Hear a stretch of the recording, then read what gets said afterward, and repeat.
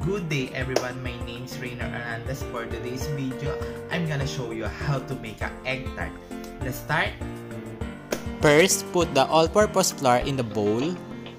Add the butter. Mix using fork until it turns into crumbs.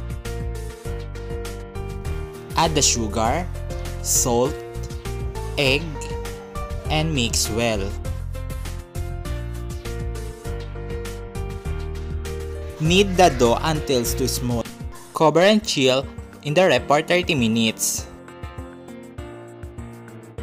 Add the milk, sugar, and mix well. When milk start boiling, turn up the heat.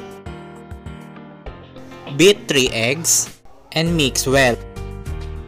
Add milk and sugar mixture. 1 teaspoon vanilla extract and mix well. Strain mixture to remove the bubbles.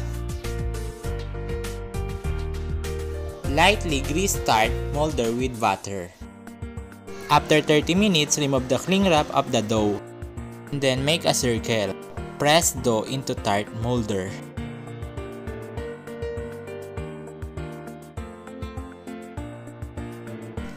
Pour filling into each tart.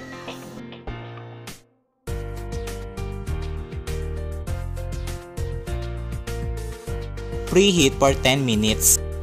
Put the tart inside improvised to oven. Then wait for 45 minutes to until to cook. Now the egg tart is already cooked. So now I'm going to do is plating. So now this is my final product. This is the egg tart.